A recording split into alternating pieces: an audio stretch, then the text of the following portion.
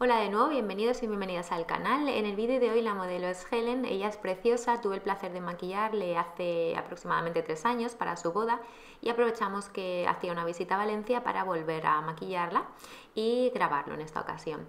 Voy a hacerle un ahumado, empiezo con una base en crema como siempre, este es un lápiz, un lápiz normal de textura no es muy cremoso, tampoco es muy seco, es de Charlotte Tilbury, es uno de los clásicos, en marrón oscuro, un tono marrón bastante cálido y voy difuminándolo con una brocha plana, como podéis ver, es de Zoeva.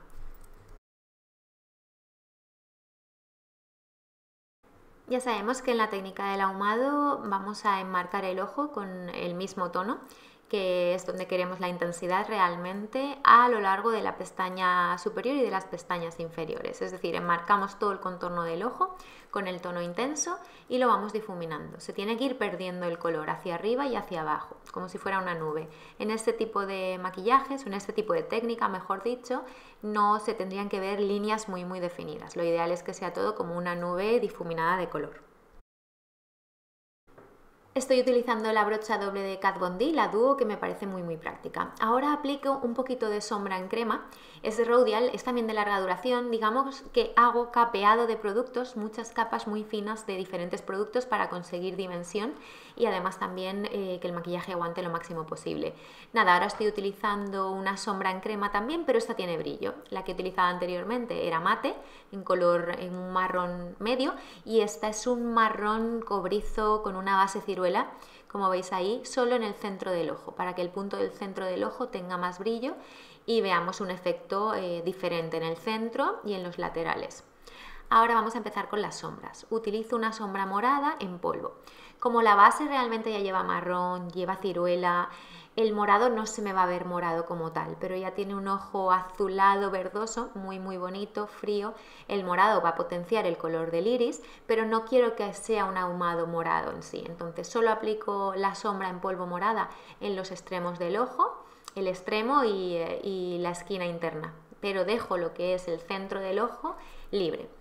Lo difumino por supuesto porque no quiero que se vean, como he dicho antes, cortes, pero sí que es verdad que el centro del ojo prefiero que esté con otro tono diferente, que no sea totalmente cubierto con el morado para que tenga más dimensión. Al final lo que siempre buscamos es la dimensión. Ahora con una brocha de difuminar eh, tipo 217, solo que esta es sintética, voy aplicando la sombra de transición para dar un poquito de calidez a esa zona y hacer que los colores se pierdan hacia la ceja y también trabajo las mismas sombras eh, por debajo. Lo mismo que he hecho arriba lo voy haciendo abajo. También utilicé el color morado ahí sobre todo eh, pegadito a la línea de las pestañas inferiores. Ahora cambio de brocha y hago la sombra de transición, la sombra más cálida que he aplicado en la cuenca, con una brocha, con la brocha que he utilizado antes, pero también la difumino con esta, que es un poquito más gruesa, para que no me quede tan marcada la línea como me había quedado con la brocha biselada, con la que he aplicado el morado. Ahora quiero darle un poquito más de profundidad a la esquina externa del ojo o al extremo del ojo, así que con la misma brocha, la parte más gruesa, además que a mí me gusta el acabado un poco más redondeado, entonces esta brocha me ayuda a conseguirlo, simplemente apoyándola sobre la piel, al ser una forma redondeada ya me está dando ese acabado, es mucho más fácil de conseguir. Y luego con la parte pequeñita voy trabajando la esquina del ojo, la externa, lo que es donde se une el párpado inferior con el superior y también la línea de las pestañas inferiores. Sigo a toques presionando para darle el punto de intensidad. Veis ahí la dimensión de la que os hablo, cómo queda de bonito. Y nada, simplemente con la ayuda de la brocha de difuminar que hemos utilizado antes, vamos difuminándolo, vamos integrándolo y vamos intentando que no quede ningún corte tampoco en la cuenca. Ahora voy a trazar una línea con eyeliner en gel eh, a ras de las pestañas para darle la intensidad eh, con el punto negro ya a ras de la pestaña, como digo, una línea finita, la voy rompiendo para que no se vea la línea definida como tal, sigo con la misma brocha y voy rompiendo hacia arriba suavemente para que se vaya integrando. Realmente aquí si estuviéramos haciendo un ahumado como tal, ahumado ahumado, no se tendría que ver nada, nada, nada la línea. Yo ahí aún puedo ver una línea difuminada rota es a gusto personal. Hay gente que le encanta llevar el ojo más oscuro, más intenso, tipo ahumado, pero luego sí que le encanta también verse el liner. Esto es, mm, nos maquillamos para disfrutar básicamente, entonces cada uno a gusto, a gusto personal. Ahí estoy aplicando sombra negra para acabar de fijarlo para darle más intensidad a esa zona y la sombra negra también me ayuda porque lo que he utilizado antes era un producto en gel que se seca más rápido. La sombra negra me ayuda a hacer una transición de ese producto al resto de sombras mucho más fácil. Para que se vaya difuminando es mucho más fácil de difuminar.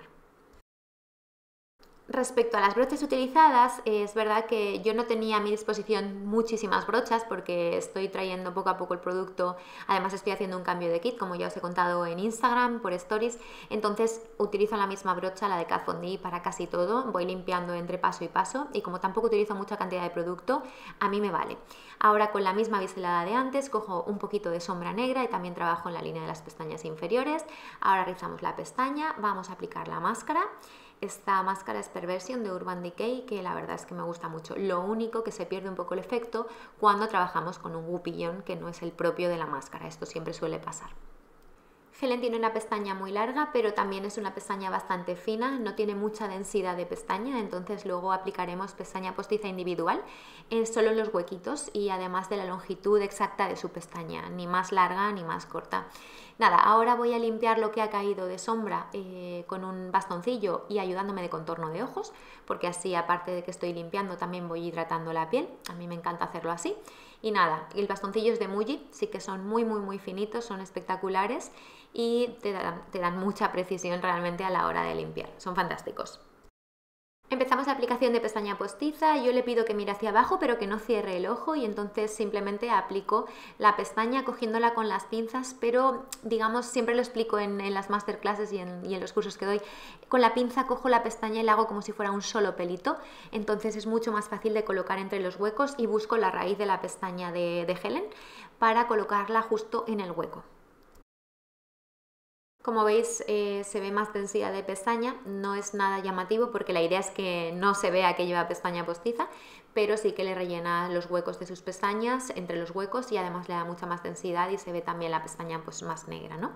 Nada, estoy aplicando el tónico, ese es el tónico de Pixie que lleva un poquito de glicólico para hacer una suave exfoliación de la piel.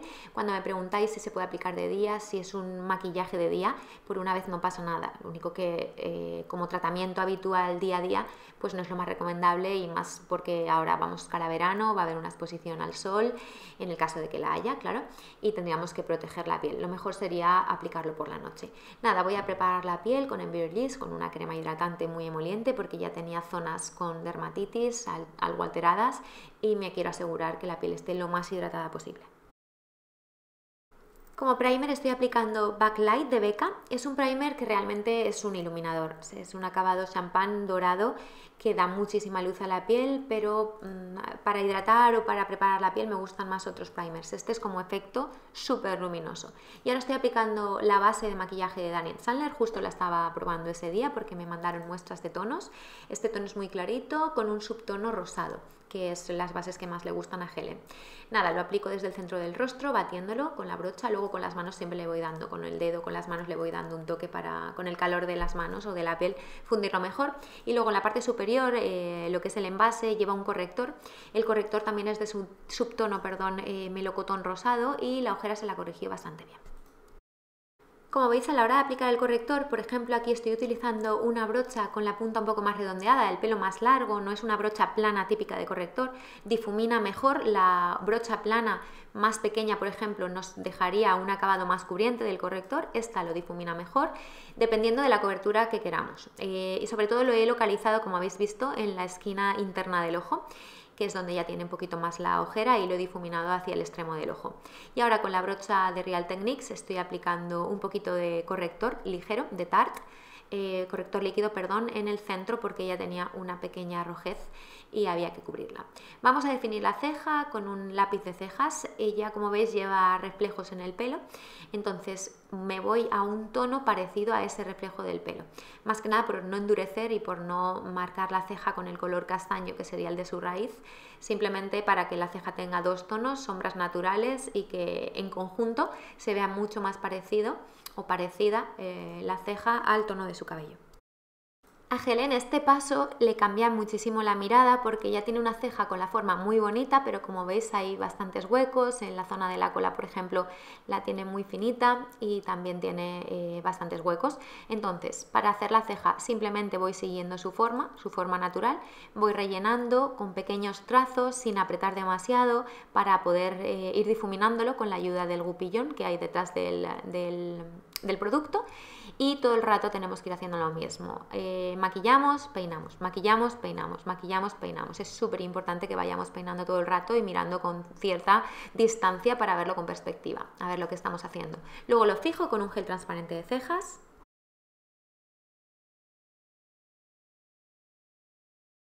Y antes de sellar voy a trabajar los productos en crema para dar color a las mejillas. En este caso voy a aplicar un colorete líquido de Daniel Sandler también, que los descubrí hace poco y realmente me tienen eh, enamorada. Nada, lo utilizo con la misma brocha que he utilizado antes para la base de maquillaje. Voy dando toques suaves que vamos tintando la mejilla.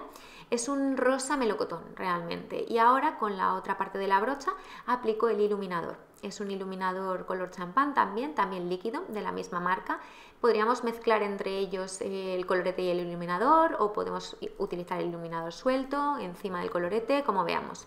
Nada, simplemente voy subiendo la intensidad de color, capa sobre capa, y una vez he trabajado los productos en crema voy a sellar, sobre todo sello la zona de la ojera pero ligeramente y también sello los laterales de la nariz, eh, un poco la, frente en la zona del centro, la barbilla, pero vamos, ligeramente el centro del rostro porque no quiero cargarme las zonas del pómulo, las zonas que he dejado más jugosas. Ahora aplico un poquito de bronceador en la parte inferior del pómulo, pero muy ligero, tampoco queremos un contorneado, además Helen tiene una piel muy clarita, queremos respetarlo y no queremos que se vea el bronceador como tal. Nada, simplemente vamos a acabar con el labio. Como veis al aplicar la base de maquillaje antes ha tocado ligeramente el labio, pero no le voy a quitar este, este tono que se le ha quedado porque le ha bajado el tono de su mucosa, que eso me viene bien para el acabado de labio que quiero. Así que aplico un bálsamo como habéis visto y ahora simplemente con un labial, eh, es un rosa muy frío tirando a morado, que no lo quiero en su mayor intensidad, pero quiero mm, tintar el bálsamo de labios hidratante que he puesto ligeramente con este color para que quede el color pero transparente y jugoso. Así es una forma de inventarnos una textura nueva.